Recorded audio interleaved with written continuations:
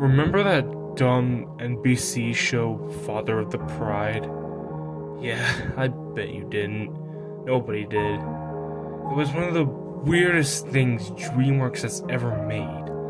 An adult animated CG sitcom that had millions of dollars put into it based on a real life act where in one of the episodes, Donkey from Shrek appears that aired on primetime NBC of all networks. Yeah. Funnily enough, though, I used to work at DreamWorks Animation. One day I was snooping around at work until I found this random tape lying around. It said in all caps, Father of the Pride, episode 19. 19? They only made 15 episodes. But I digress. I was kind of curious to what this was. So I smuggled it back home and put it in my VHS player. Oh, what I was waiting for there. The episode starts normally with Larry and company doing some random shenanigans from the show. One of his friends did ask him about if he knew that Donkey was coming back to Las Vegas sometime soon. What for? Apparently, nobody knew.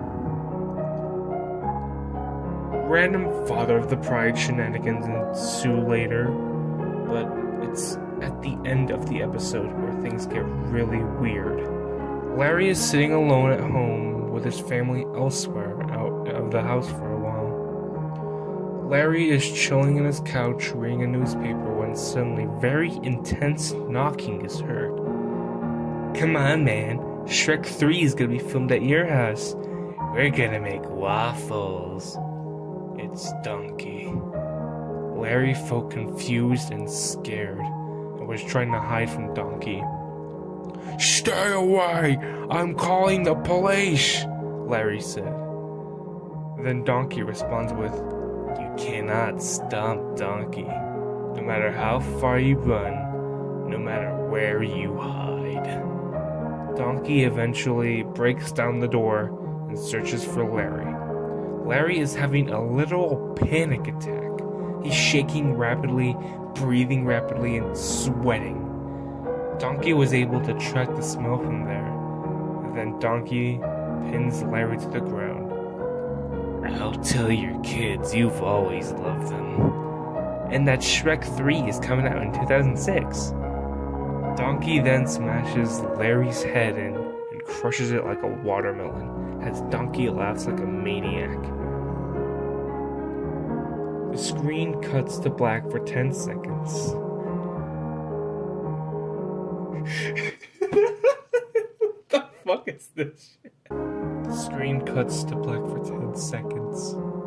And then shows the family's house with the entire Father of the Pride family dead and hanging from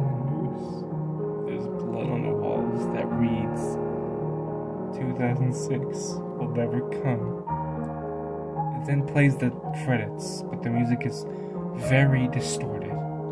I quickly took the tape out and burned it. I never looked back to Father of the Pride again. Never again.